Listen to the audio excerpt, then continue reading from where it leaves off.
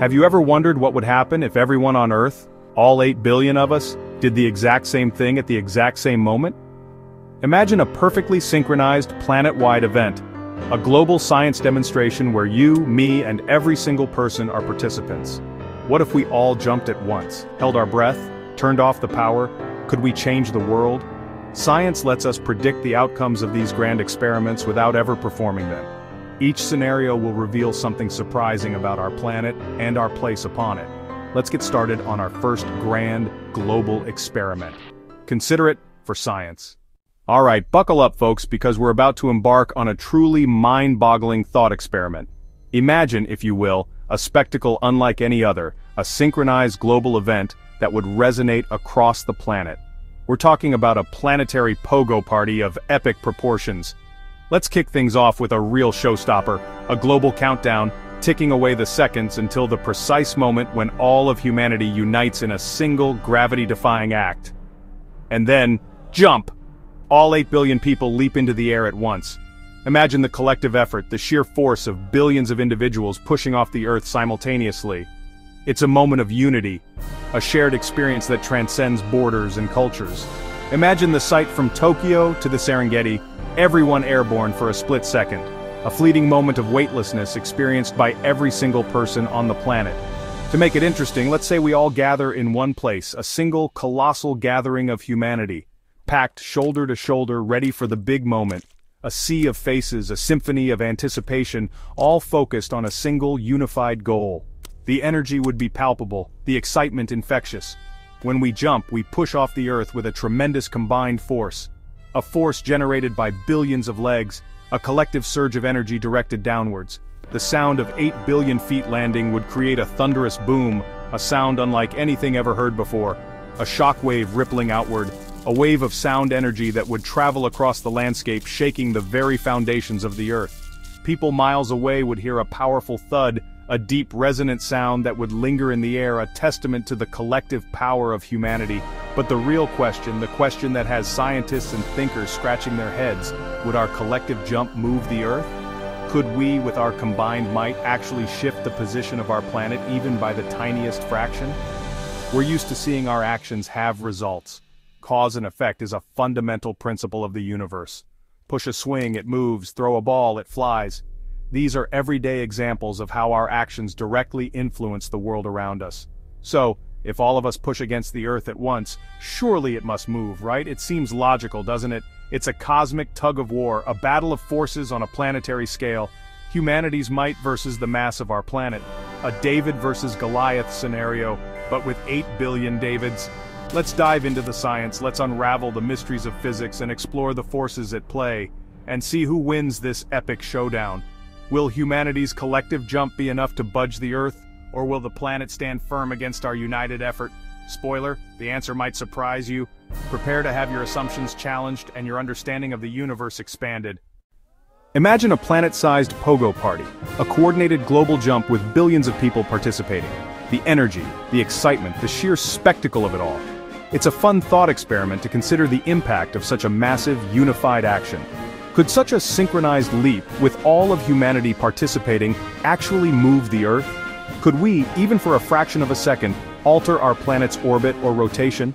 It's a question that sparks the imagination and invites us to consider the forces at play in our universe, in a word, no, the reality is far less dramatic. The total mass of every single human being on Earth, all 7 billion of us, is estimated to be about 500 billion kilograms. That sounds like a lot, and it is in human terms. We're talking about the combined weight of entire cities, nations, and continents.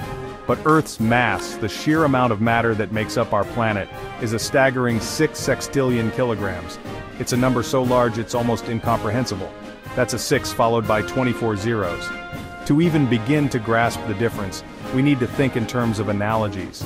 Imagine a flea, a tiny, almost weightless creature jumping on a blue whale, the largest animal on Earth. The whale barely notices, perhaps a slight tickle at best. It continues its journey through the ocean completely unfazed. And in much the same way, neither does the Earth register our collective jump. Our jump, even with billions of people participating, is merely a pinprick of energy, a negligible force compared to the planet's immense inertia and gravitational pull.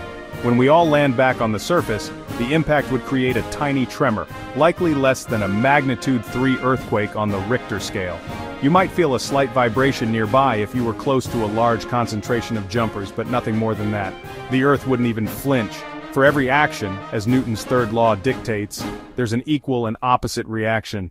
We push against the Earth when we jump, exerting a force downwards, but gravity, that ever-present force immediately pulls us back down, counteracting our efforts, and the net effect on the planet's overall momentum is essentially zero.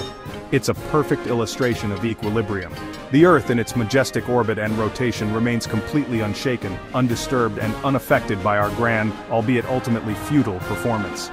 We're left humbled, perhaps even a little awestruck by the sheer scale and power of our planet, and our own relative insignificance in the grand scheme of the cosmos. Even though our jump wouldn't move the Earth the numbers are fun. If everyone jumped about a foot high the energy released would equal a small lightning bolt. Gathering 8 billion people in one place would be tighter than any music festival. About 4 people per square meter. If we all jumped where we stood, the effect would be even smaller. The energy spread too thin to notice. It's like trying to make a wave in a pool by dipping your toe in. Our planetary pogo party is a lesson in scale. We're powerful, but the Earth is vastly more so, and that's a good thing. We wouldn't want to knock our planet out of orbit. Next experiment, what if everyone on Earth held their breath at the same time? Picture it, a global inhale, then silence as 8 billion people pause their breathing. The average person can hold their breath for about a minute. For that minute, we're not releasing carbon dioxide or taking in oxygen. Would this collective pause make a difference to the atmosphere? Human activities like burning fossil fuels add CO2, so could stopping our breathing even briefly have the opposite effect? This experiment connects our biology to the vast system of the atmosphere. Every breath is a tiny interaction with the planet. What happens when that interaction stops, even for a moment? Let's find out. Would holding our breath make a difference? The effect is immeasurably small. The atmosphere contains trillions of tons of CO2. Humanity exhales about 2.5 billion kilograms daily. Holding our breath for a minute would withhold about 1.7 million kilograms of CO2, a drop in a vast ocean. It's less than what industry produces in a single second. After holding our breath, we'd breathe more heavily, releasing all that CO2 and more. The net effect on the atmosphere, zero. This experiment shows how both our bodies and the planet maintain balance. The Earth's systems are vast and resilient. Our collective gasp is just a blip. Now imagine everyone on Earth turns off every electrical device at the same moment. The world goes dark, city lights vanish, the hum of civilization stops. This is the most realistic scenario with immediate dramatic consequences. Electricity powers everything, homes, hospitals, communication, transportation. A sudden planet-wide shutdown would be a stress test for the global grid. Lights out, refrigerators off, Wi-Fi dead, traffic lights fail, trains stop, elevators freeze. Essential services like hospitals and water plants would rely on backup power. The real challenge isn't turning off the power, it's turning it back on.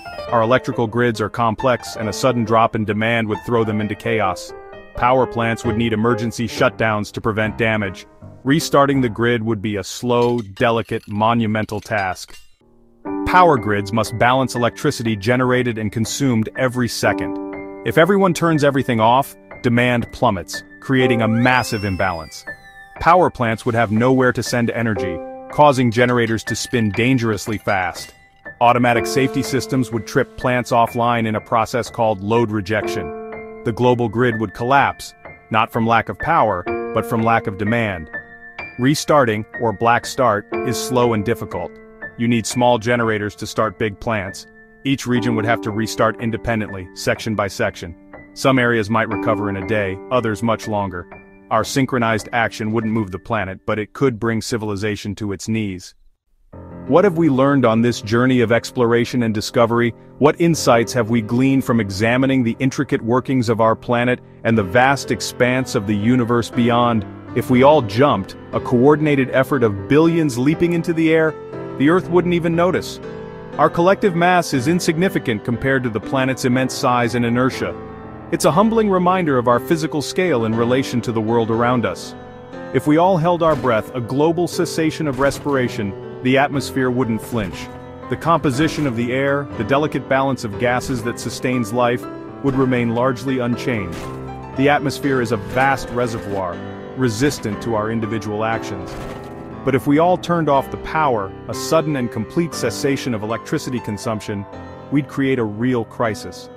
Our modern world is utterly dependent on a constant flow of energy.